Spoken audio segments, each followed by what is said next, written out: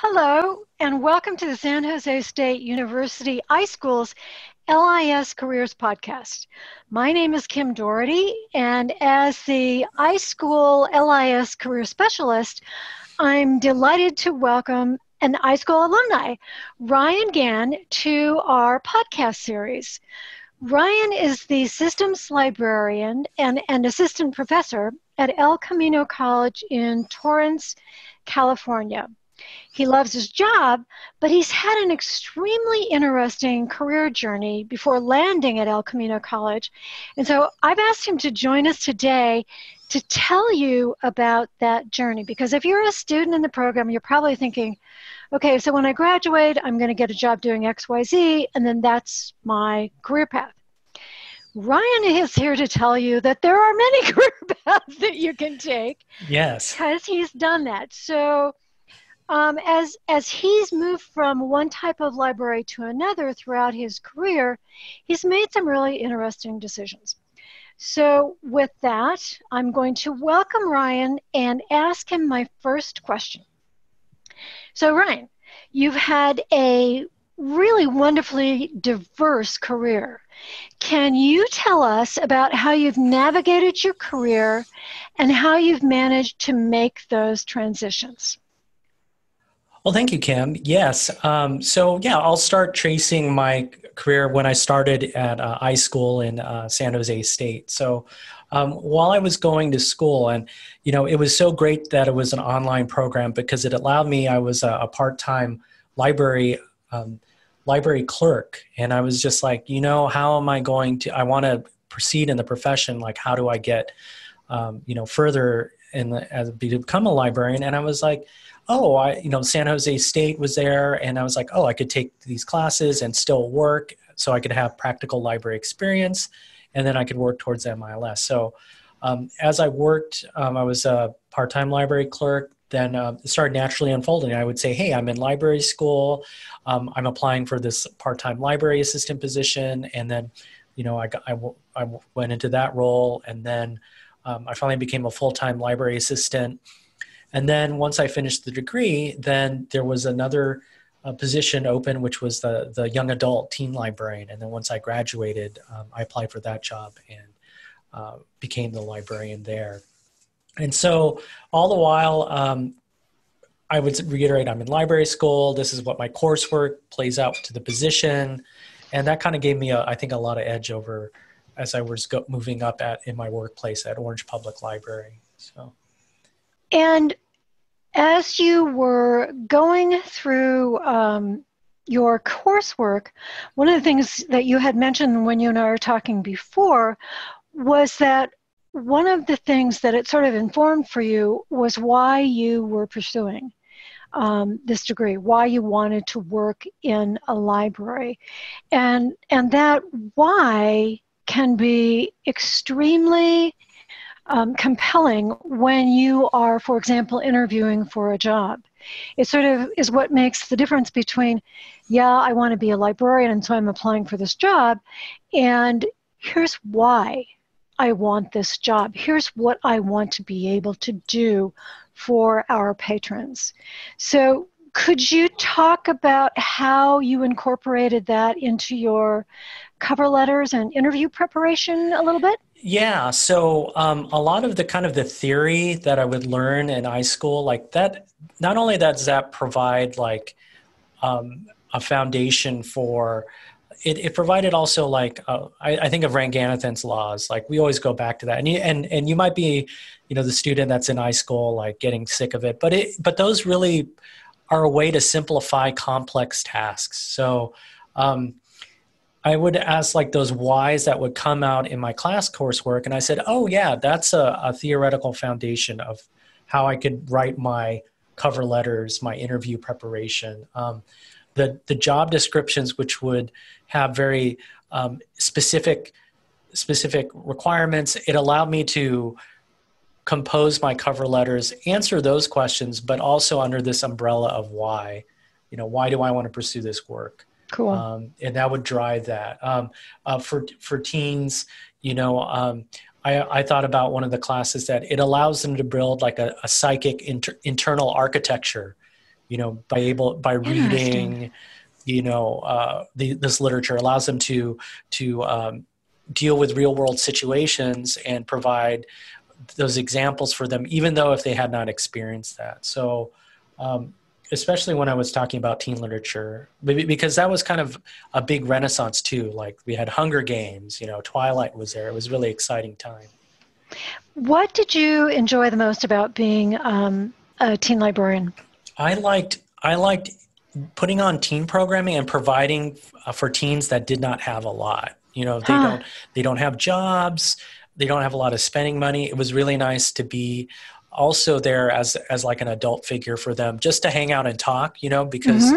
i like to i'm really proud of this like um, i had little to no disciplinary problems with teens in my area. It'd be maybe like hey you know you stayed here too long but they never they as long as i was really open with them they were really open with me you know um, that's interesting. I because i've talked to a number of people who say one of the reasons they love being teen librarians is because if you are authentic and respectful to them they will give you the same back because they so value an adult caring about them in that way and treating them that way sounds like you experience the same thing. Yeah, I really lo- love that about the about being a teen librarian. And plus, we had very I could prevent, present very innovative programming.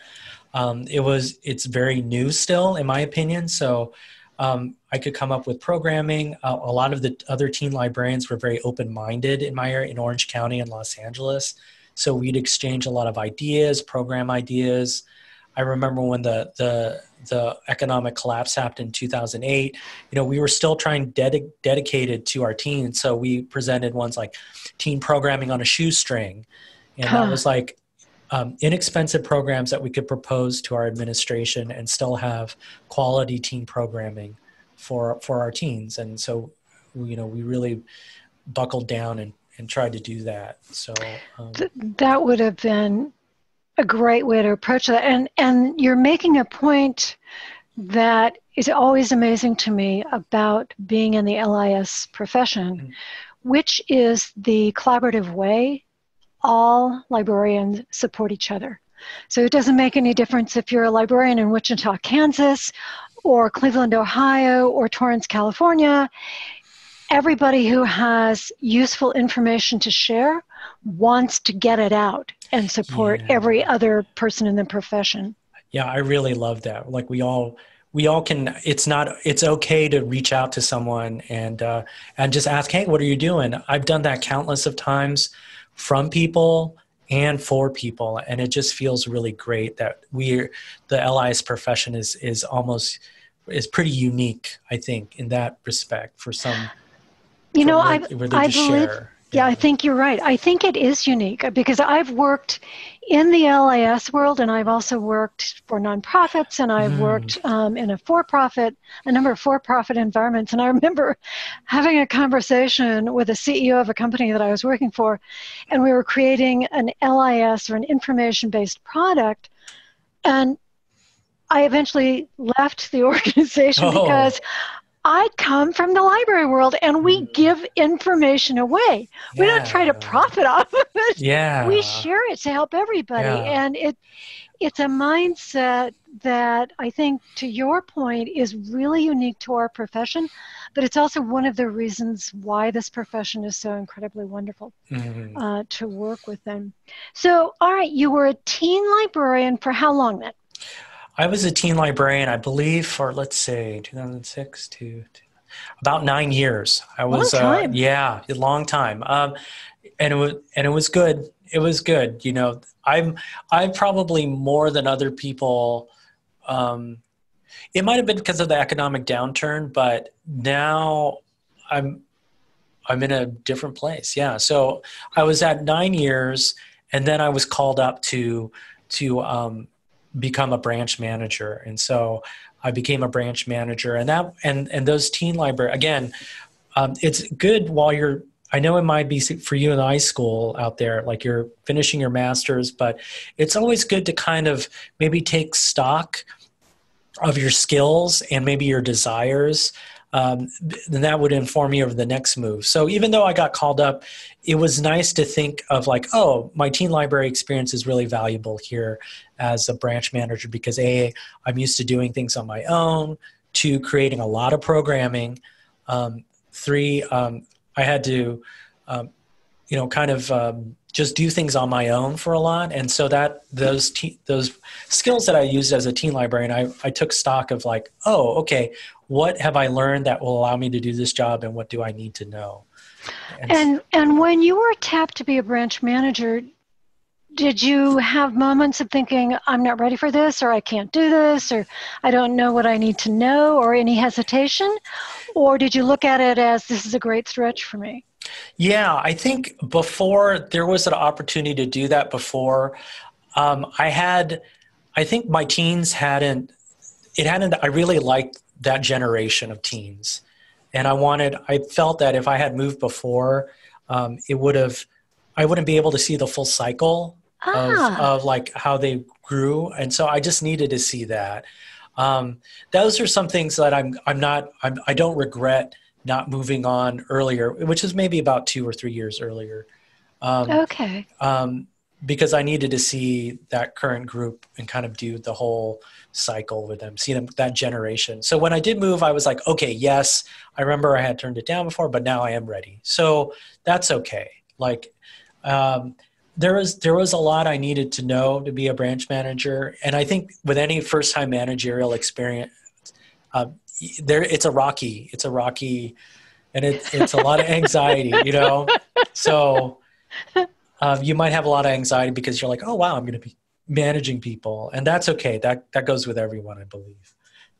That that is a really good point because i think a lot of people who are working in libraries look at at the a branch manager job or being a director and think oh my gosh i could never do that. I don't know the stuff that you need to know to be able to do that. But the reality is, you kind of learn it on the job.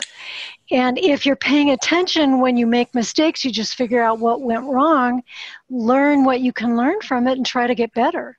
Yeah, yeah. I think that in, in my experience, it's like it's better you to be the manager than someone else above you, you know, like, right?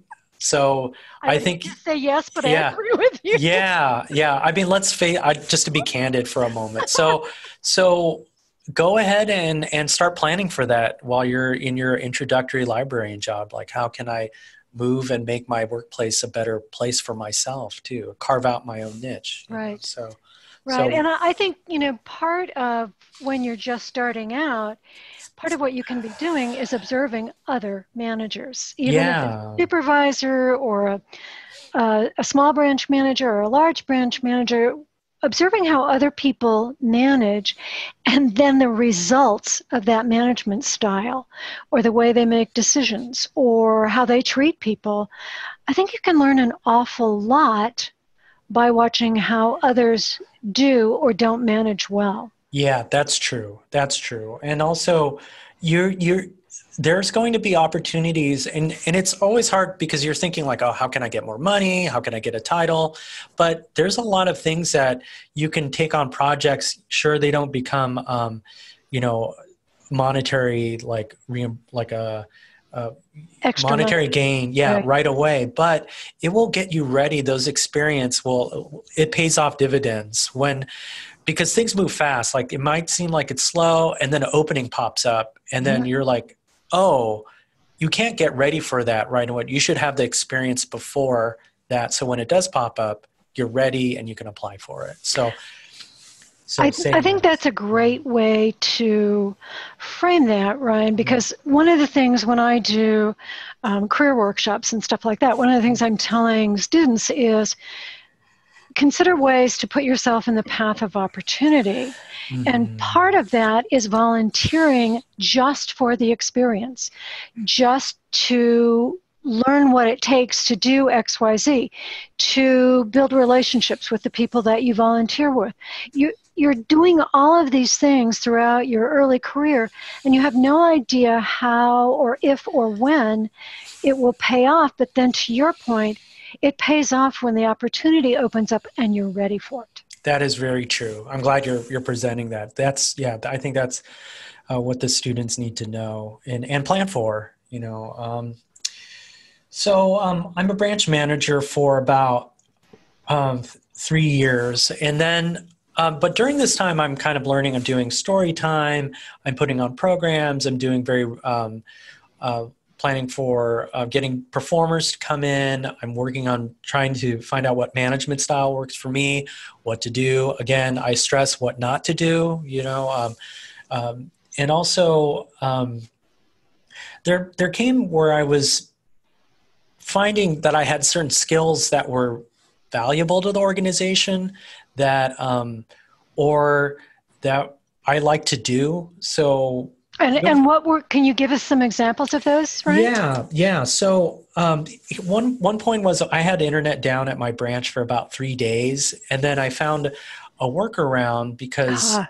of uh, we had to have the catalogs working so i you know rewired some cat 5 cables and um, you know, it wasn't very fancy. It was just kind of like maybe switching routers. And, um, but I did that, and then we were able to have some sort of like internet service. And then finally, um, I, IT and um, the main branch circled back to me, and then we were able to get it instituted. And then I wrote a procedure on what to do when this happens again. So that was your, I think, for advice for you students, once you get your job, your first entry level job, you might see certain things that you like to do, some things you don't like to do, but the things that you like to do might tell you where you might be when you're trying to make your next moves in your career. And I and I know that in the library world, people like to stay in the same place, but um, when I was able to move, um,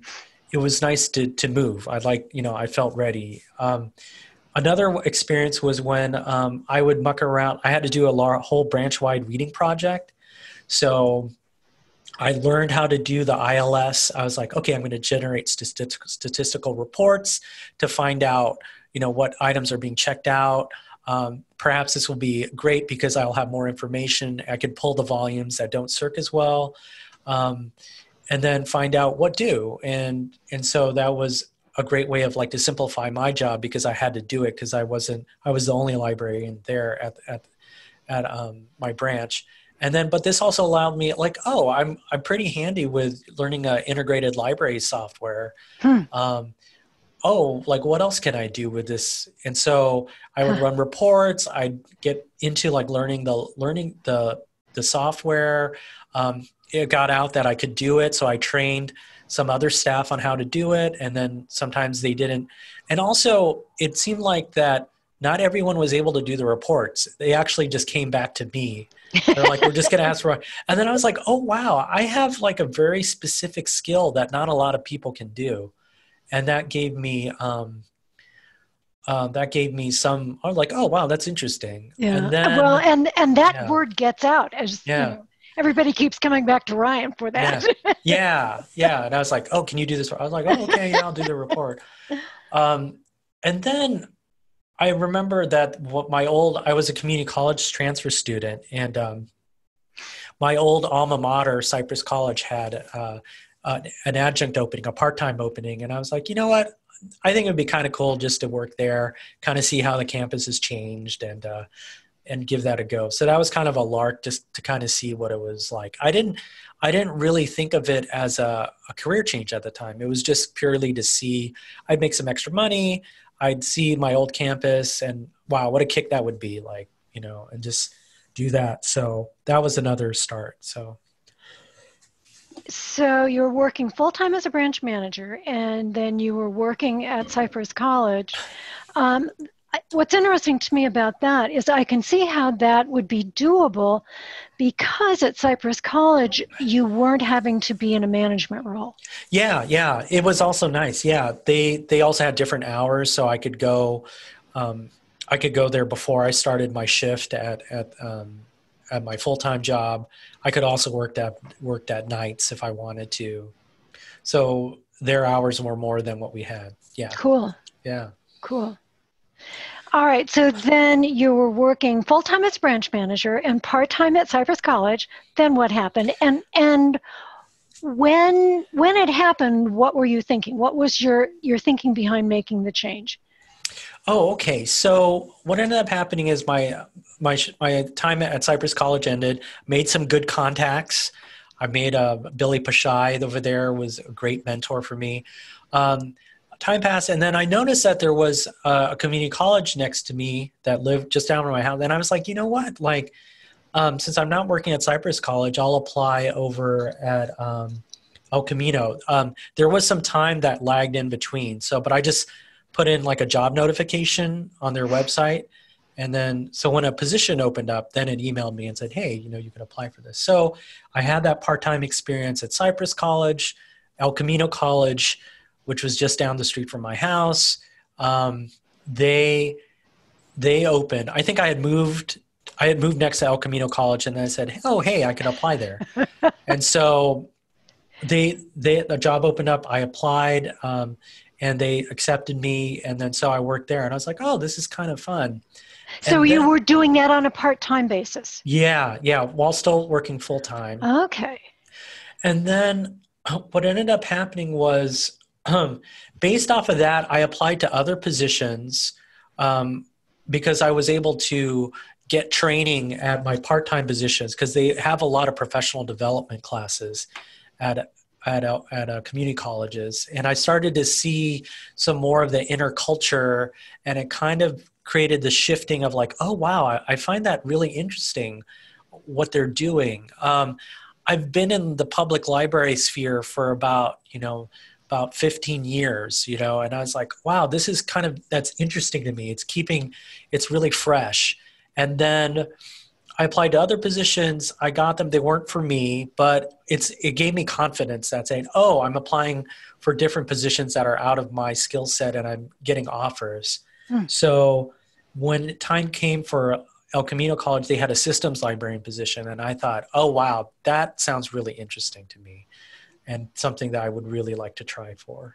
And and this is interesting because you had never been a systems librarian in the public libraries that you worked for. You just looked at this and thought, I think I can do that. Yeah, yeah. And I think that being in a management position gave me that confidence. But also, and I want to get to this point, there's a great book by Rachel Singer Gordon. It's been some years since it came out, but it talks about the accidental systems librarian. oh, I have that book actually yeah. on my bookshelf. I'm yeah. so glad you mentioned that. And I still think that goes for today. Like, like tech librarianship is very new. And I think um, you don't need to be have taken all these classes and done X, like you you need to just go for it and see what happens because I remember and I think I can speak to that is like when my position they had to reopen it because there weren't very many other people that applied for it as well. So um so I, yeah. if you thinking about the students who are in um, the program now, if they not if they don't necessarily want to become a systems librarian as their first job. But this is something that they think they might be interested in down the road a bit. What should be they be taking um, in the program? What kind of courses? Yeah, so I think taking um, I like really enjoyed having uh, like all the programming classes that I took. So, um, you know, take a, a MySQL class, take an XML class, um, even a you know uh, take uh, online searching you know if they have that i really like that class. But uh, take those classes. There's also i believe an ils like an interlab- integrated library systems class that's taught for about a unit. Take a practicum you know that yep. that might have technical work that you can do. Um, so yeah programming classes are really great you know. Um, that's a really great preparation for that because i not even though that you might not be taking the same language or just having that general programming idea and what programmers you know library programs do that type of program like computer programs do will give you a great foundation to move forward because yeah. That, that's great because it, if nothing else it gives you sort of a conceptual framework yes yeah. that you can apply over and over again. That is very true. That yeah. And and I have in my notes, Ryan, that you also took as part of prepping for the systems librarian job um, or applying for it, you took a class um, in the Canvas online course teaching certification. Is that part of your work? Yeah, yeah. So, so what I did was I was a part-time librarian. They they had like, oh, we have these professional development classes, and I said, hey, is there any openings for the online teaching certification class? Ah. And then ah. and then they said, oh yeah, we do have an opening. Um, all the full-time staff have like kind of you know have taken it. Uh, I mean, have passed, you know, or the full-time staff that were has been full. Now we can open up to part timers. And I said, yeah, I would really love to do that. Cool. And so that was part of the things like saying yes to something, which was not something that was a had monetary thing right away, but it was like a a piece that I could use to for that goal. Why do I want to take this? Oh, this will give me uh, a skill and a in a certification in a learning management software. Probably will need to know this and. Uh, and so I took it and I learned a lot, and it was great just to learn. But now, uh, in my position now, we're working on how to integrate uh, library apps into Canvas. And so, my uh-huh. online teaching certification class that's another piece where you do something first. You might not come to it like right away, but it will be invaluable for that end. Um, so, like, yeah, so I took a class in um, it's the information technology tools and applications coursework in iSchool. So there was an XML class. Um, PHP MySQL, that's another one with Professor Perry.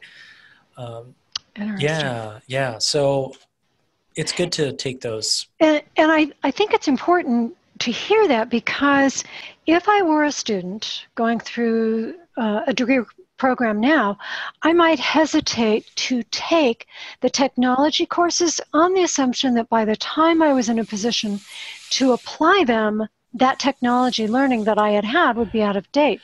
But you make a, a really good point, which is the specifics might be out of date, but the concepts and the framework and the structural approaches are what you need and what will carry over. Yeah, yeah. I mean, even though I'm still like, I took the PHP class. How how long ago is that? That was like, fit, like thirteen, almost thirteen years ago. It's still getting taught. I still use it. You know. Oh my uh, gosh. Uh, um, XML. I was just working on XML. I took it like 15 years ago. We're still using that today. I did that for this library software man, you know, migration project that we, I've been in the midst of for and um, you know i was teaching some of the it people like that their code was um, that needed some tweaking and then i was huh. able to like oh i know what this is so yes those concepts like take those class they are not going to be outdated the conceptual framework that you learn will carry over so that is just yeah. fascinating yeah. Um, are, are you seeing at el camino that there is a trend toward embedded librarianship um, or is that not happening at El Camino? No, that is very much happening. That is very much happening. So I, I won't explain it then. I'll let you explain yeah. to our listeners what that is. Okay, so embedded librarianship, uh, at least at the community college or academic world, is is where you're a librarian and then you meet with the the class's professor, and then instead of just a bibli graphic instruction like a one shot class like where you just do one session. You actually have multiple sessions throughout the semester uh, that goes along with the assignments and then you craft these classes as they um, with the professor's syllabus their coursework their assignments their papers that they have to write. And um, it's a great way and it's a good it's a very it's getting to be more popular here at our campus. Um, i think um, one of my colleagues has like three classes, and that's about maybe three or four sessions throughout the semester. Wow. And it's a good way to, and our faculty here really value our librarian skills here. They they know how important information literacy, which is actually one of the core institutional learning outcomes.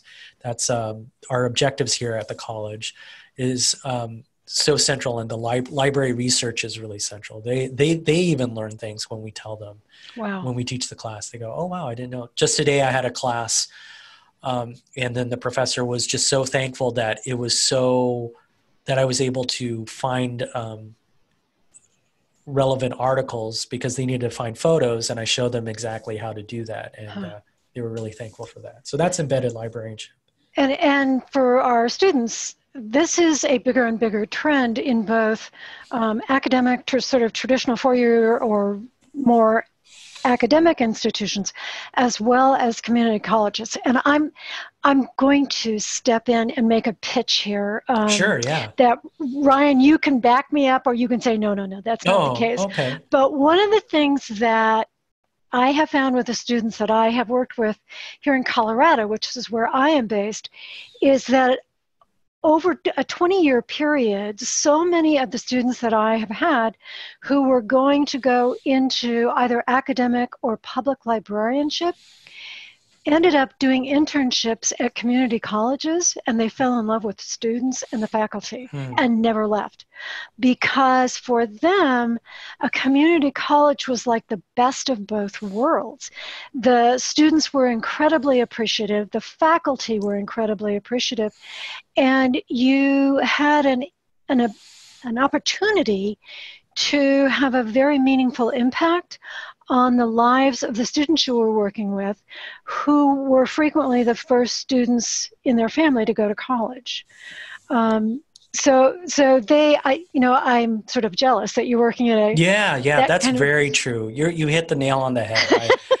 I, I, I, the students here are, are amazing. They're they're really appreciative. Um, i remember like my interactions with them at the desk. Um, speaking as a former teen librarian it's nice to be like kind of working with early adults now. Now I get to see the next phase when they're, you know, uh, from, you know, 12, 12 to 17. Now I'm seeing like the 18 to 21 year olds. So it's, it's kind of that neat progression that I can build upon that, that relationship that I built with teens and kind of carry that type of, uh, they're getting older. Yes. But, you know, a lot of them have, I think I can connect with them still uh, with that teen librarianship experience. Um, I just want to interject one more thing about the classes that you'll take at iSchool. Um, the meta, uh, metadata class would be really helpful, digital curation, and then also cataloging. Cataloging has been so important in my job, reading MARC records as I'm migrating a lot of bibliographic records. It's um, and as we move to like BibFrame,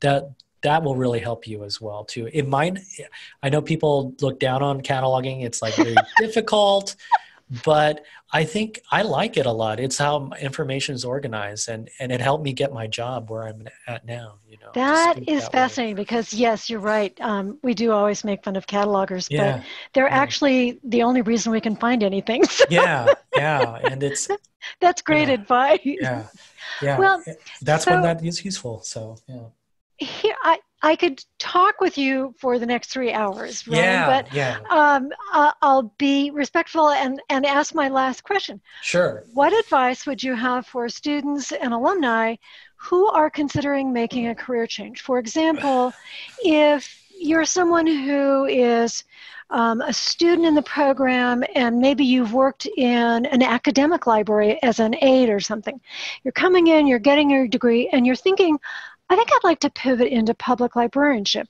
Or we have alumni who are listening and they're thinking, I think I'm done with public librarianship. I'd like to maybe go in a new direction. What advice would you have for people like this?